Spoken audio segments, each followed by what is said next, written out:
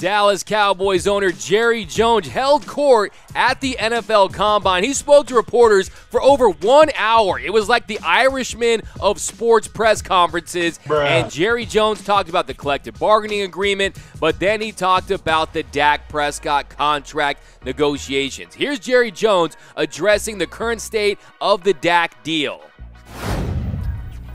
the same as I feel about Stephen. Uh, there's no going forward without Stephen or your or one of your family members. So you got to get it figured out.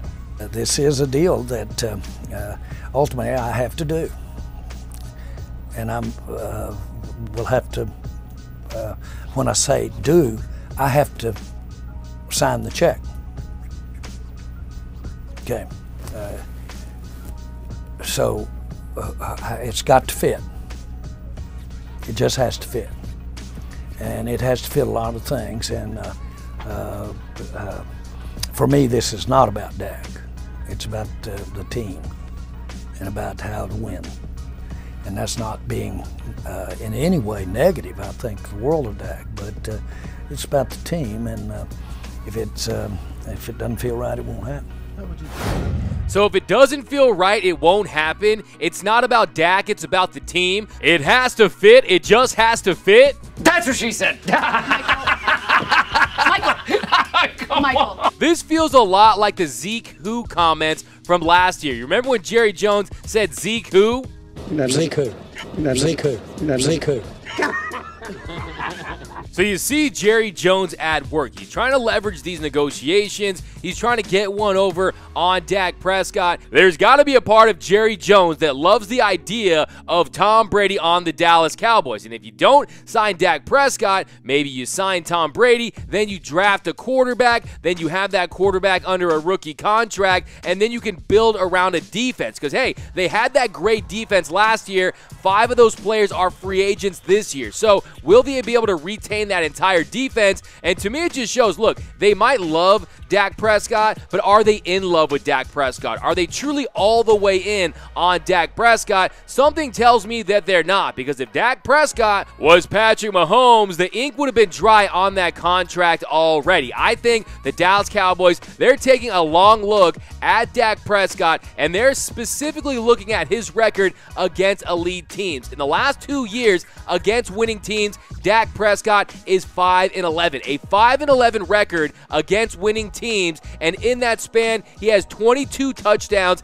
and 20 turnovers. So when it matters most against elite teams, Dak Prescott isn't an elite quarterback. So why would you give him elite money if he can't beat the big teams? Look at last year. They could have beaten the Patriots on the road. Yes, it was a rainy game. Did he play his best? No. Against Chicago, against Philly, when they could have secured the division. Dak Prescott has not come up big on the biggest of stages, so I think that's giving the Dallas Cowboys pause, and I think they're weighing their options. Now, I think ultimately they do sign Dak Prescott, but it just comes down to will Dak Prescott give them a little bit of a hometown discount because of all the benefits of being a Dallas Cowboy? But the question I would have would be can Dak Prescott win a Super Bowl as the quarterback of the Dallas Cowboys? Look, if you want to win in the Super Bowl, he's going to be playing against elite competition in the conference title games. Look, last year he had so many opportunities. They played the Saints without Drew Brees. They lost. They scored 15 points on the road against the Buffalo Bills, 9 points against the Patriots. Yes, it's not all on Dak Prescott and the quarterback, but hey, he is the guy that's going to get the money. He's the guy who's looking for 38 to 44 million dollars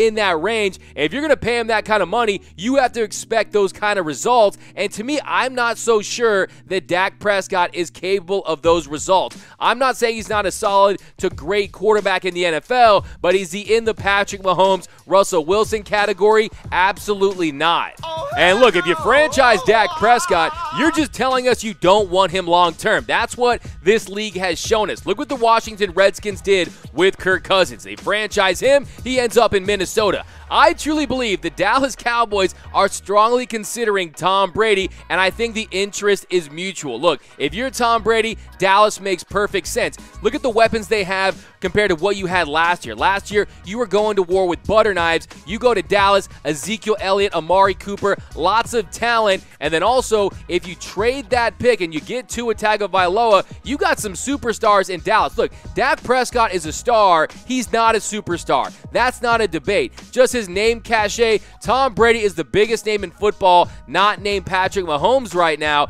And you bring him to Dallas, and if you're Jerry Jones, look, you could go 0-16 next year. As long as you have Tom Brady on the Dallas Cowboys, you have the biggest story in sports. Tom Brady plus Dallas Cowboys equals the biggest story in football, and we know Jerry Jones wants that. But most importantly, I think Tom Brady has some left in the tank. I think Tom Brady wants to show Bill Belichick, I can win a ring without you, and to do that with the marquee franchise in the NFL, I think Dallas should bring Brady to the boys, and I think next year the biggest star in the NFL should have the biggest star on his helmet. Thanks for watching the Get More Sports YouTube channel. My name is Doug McCain. You can follow me at DMAC underscore LA. And for all the hottest sports content in the game, be sure to hit that subscribe button, hit that notification button, and most importantly, give me all your takes right down below in the comments section. I want all your takes right down below in the comments section. And for all the hottest and latest sports news, head over to getmoresports.com.